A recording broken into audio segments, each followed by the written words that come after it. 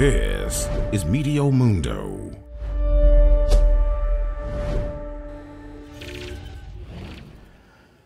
Hi, everyone. I'm Meteo Mundo Chief Meteorologist Rusty McCranie, and this is your Bahamas forecast. And I got to tell you, the weather has been really splendid in the Bahamas the last couple of days, especially the northwest side of the Bahamas for Grand Bahama, Lucaya, and Freeport and West End.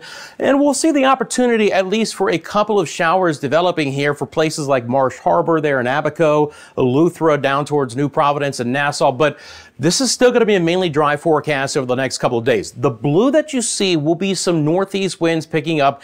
It's going to get a little bit windy, especially as we get into Friday, and then the potential for the winds to die back down a little bit as we get towards the weekend. But again, still a lot of dry locales as we get into the weekend. Now, the one thing we'll be monitoring early next week and really even over the weekend is as Tropical Storm Franklin becomes Hurricane Franklin, and even though it's going to be several hundred miles off towards the east, look at these significant waves it's going to start to bring to the eastern side, uh, again, well away from the islands, but it's going to kick up some of those seas that you can see on our chart will be around four to five feet on the eastern sides of Abaco and Eleuthera and the northern sides of Grand Bahama, including up towards Walker's Cay. So sea conditions late in the weekend are going to be kicked up a bit as Franklin moves away from the area, again, especially on the eastern and the northern sides of the island. So for mariners, keep that in mind. Now, we're still looking good. This is your tide cycle for our Thursday right now. We'll be coming up on a high tide in the early afternoon hours for Freeport Harbor and Settlement Point,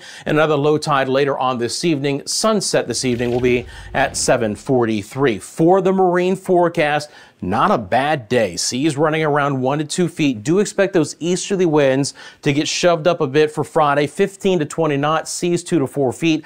Windy conditions look for higher seas in the exposed waters of the Atlantic. Water temperature there in Grand Bahama right around 86 degrees. Speaking of the Grand Bahama forecast, again, it's beautiful. It's hot, 89 degrees, just a 20 to 10% chance of a very isolated storm in the afternoon hours. Feels like temperature, though, pushing 100 degrees in the afternoon with those breezy northeast winds. On the five day forecast for places like Freeport and Lucaya, uh, and again on over towards West End, about a 20% chance for storms right on through the weekend. So isolated storms, but of course, watch out for the lightning this time of the year. Storm chances come up a bit on Monday. We'll be monitoring some tropical moisture coming in from the south for the opportunity to bring us a higher rain chance beginning early next week.